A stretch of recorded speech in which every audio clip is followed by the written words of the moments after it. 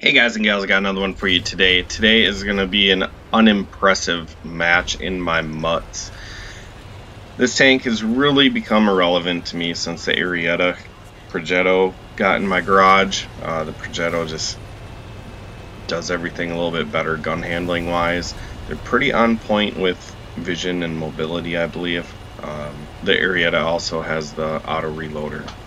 There are a few games left in like my library with the lower bit rate and definitely can tell that this one is one of them. So I apologize for that as they cycle through. I'll keep an eye closer on that so that doesn't happen again. Um, but the point of this video is just to kind of bring up plus one, minus one again. And if you've seen the start of the match, I was only tier 8 on my team. The enemy team did have two tier 8s. Uh, we have one tier 9, and then the rest are tier 10s. And my plan on this map was to get to G1 um, because that's a important position, or not, maybe not important, as aggressive position that you can be very successful in. And as a tier 8, I figured that was the only way that I'd outspot my tier 10 medium tanks since there are no scouts. And I was going to rush down there, but then I decided that's pretty stupid. I could definitely just get wiped off the map in a second in a tier 10 match in my Mutz, so I decided to stop at the bush, get some spots, and then my tier 10s caught up to me and pretty much took over spotting duties. Get a shot into my counterpart, their tier 8 Centennial over there, light him on fire. And talking about plus one, minus one, I haven't heard any news of what came of it. So that's kind of disappointing.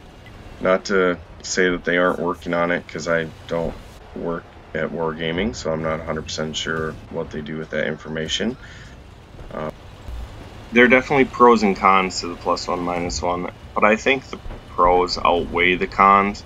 Uh, just some quick ones that I can think of for cons, because that's the minimal aspect of it. You're going to lose some medals.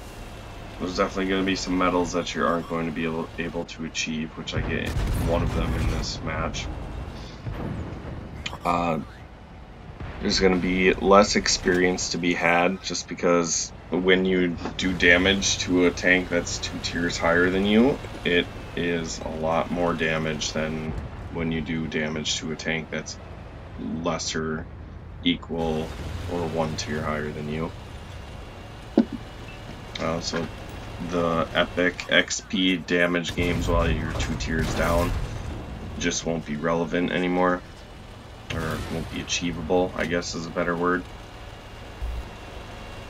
And those two are probably pretty minuscule, but the biggest thing for me is just learning tactics in this game and to be able to learn how to play this game when you're two tiers down and be successful at it is definitely something that new players would never be able to accomplish if there was plus one minus one.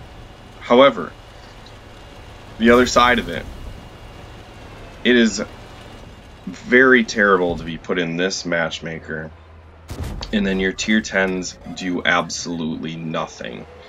Uh, or they try but their plan fails just because the opposing team's plan was much better.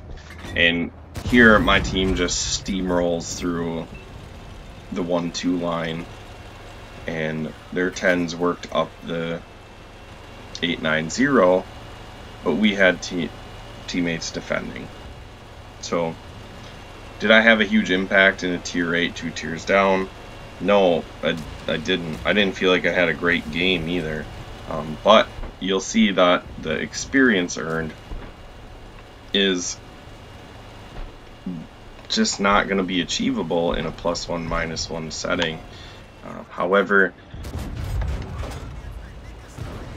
when it is plus one minus one, you can carry more. So the ability to get more XP by actually doing more will be there. But as new players learn the game, it's just going to be a learning curve. I think the curve will be will be steeper. So just my two cents. Kind of wanted to bring that up again and just show off some crappy matchmaking where I take top dog in a 10 match with 1700 damage. That's that's what I do in my Mutz. So comment below. I know this video is way too short for me to talk more in depth on pros and cons of plus one minus one or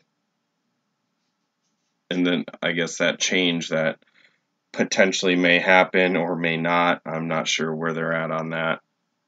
Um, but yeah, comment below the pros and cons. I guess I'd like to put together a list and maybe have a follow up video and talk more in depth on it if that's something that you guys want me to do, or maybe even send off to Wargaming um, devs that I can talk to.